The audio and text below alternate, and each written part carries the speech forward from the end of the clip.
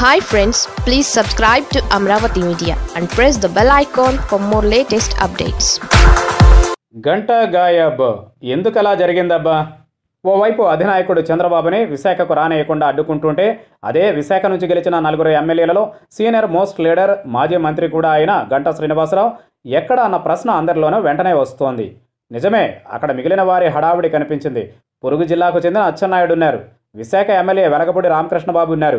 తూర్పుగోదావరి జిల్లాకు చెందిన నిమ్మకాయల చినరాజప్ప ఉన్నారు. కానీ గంటా శ్రీనివాసరావు ఐపు అజా మాత్రం లేకుండా పోయిందన్న చర్చ జరిగింది. చంద్రబాబు విశాఖలో రెండు రోజుల టూర్ ప్రోగ్రాం తెలిసిన మిగిలిన వారు తమ నియోజకవర్గాల్లో చానాళ్ళ క్రితమే ప్రజా యాత్రలు చేపట్టారు. జగన్ సర్కారికి వ్యతిరేకంగా భారీ స్టేట్మెంట్లు ఇచ్చారు.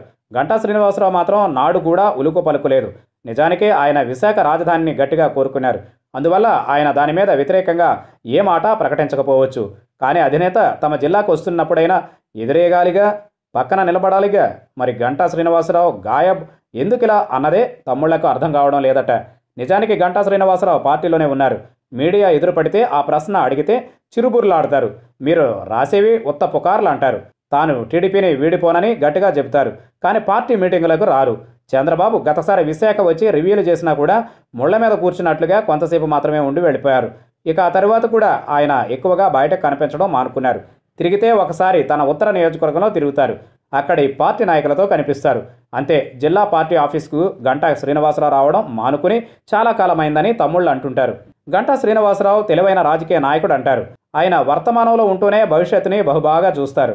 ఏపీలోని రాజకీయాలను మరో నాలుగేళ్ళలో జరిగే ఎన్నికలు వాటి సమీకరణలు కూడా గంటా శ్రీనివాసరావు ఇప్పటి నుంచే సరిగ్గా అంచనా వేయగలరు. మరి ఆయనకు టీడీపీ మీద ఇంకా నమ్మకం కుదిరినట్లుగా లేదని ఆయన గురించి తెలిసిన వారు అంటారు. అలాగని ఇతర పార్టీల్లోకి ఇప్పుడే వెళ్ళే తొందరపాటు ఆలోచనలు లేవని కూడా చెప్తారు అందుకే ఆయన వేచి చూస్తున్నారట. ఇప్పుడు ఆయన టెక్నికల్గా టీడీపీ ఎమ్మెల్యే. విపక్షంలో గట్టిగా మాట్లాడాలి. కానీ ఆయన మాట్లాడరు. అది ఆయన ఇష్టమని కూడా సన్నిహితులు అంటారు. ఆయన ఎందుకు మాట్లాడరు? ఎందుకు పార్టీ కార్యక్రమాల్లో పాల్గొనరు? అని అడిగే ధైర్యం ఇప్పుడు హైకమాండ్లో లేదు. ఆ బలహీనతే గంట శ్రీనివాసరావు రాజకీయ బలం అంటారు. అందుకే ఆయన పార్టీ సమావేశాలకు వచ్చినా విశేషమే రాకపోయినా విశేషమే.